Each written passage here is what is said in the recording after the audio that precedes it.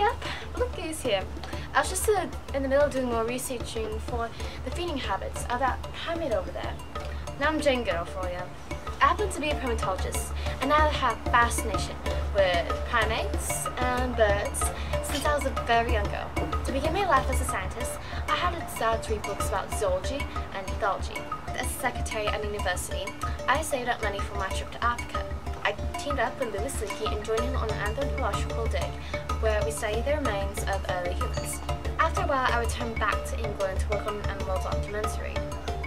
In 1960, I returned back to Africa, and that's when my research on primates really began.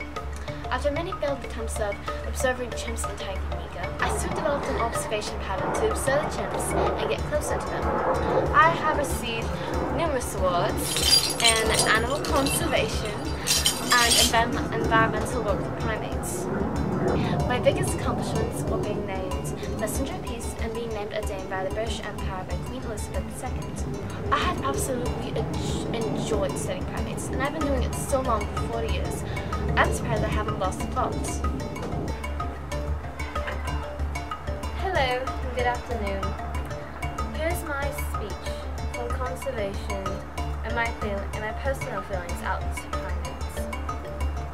Researchers find it very necessary to keep lingo's on. They don't want to admit that the animals they're working with have feelings.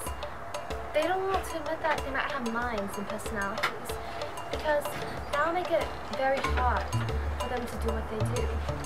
So we find that within lab communities, there's a very strong resistance among researchers to admitting that animals might have minds and personalities and feelings. By and large, students are told that it is ethically correct to, pub to perpetrate and live science what, from the point of view of animals, would qualify as torture. Most of my research on primates is based on chimps. When I began my study on chimps in Africa, I had established a pattern of